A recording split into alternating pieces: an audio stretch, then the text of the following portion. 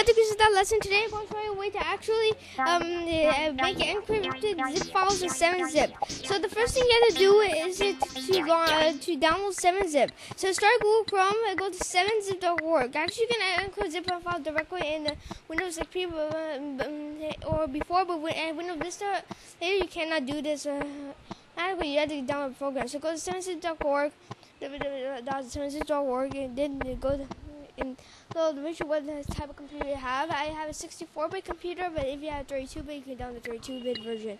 But these are all computers 64-bit. After downloading it, you can, you can you have to run the exe file install the 7-zip. Then go to the document, and go to and eventually and find a file that you want to um, uh, encrypt, uh, make a zip, zip file. After finding that file, you can actually uh, click on the file, right click on it, and then go, uh, go to uh, over 7-zip, then go to add to archive.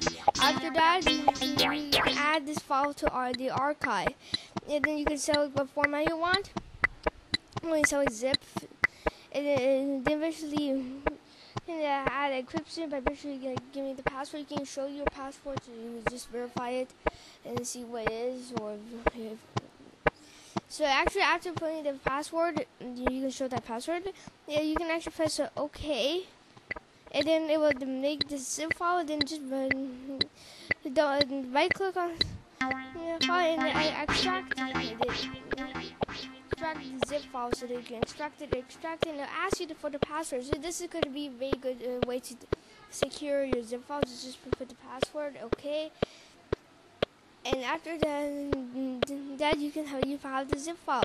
Uh, please subscribe if you will. Subscribe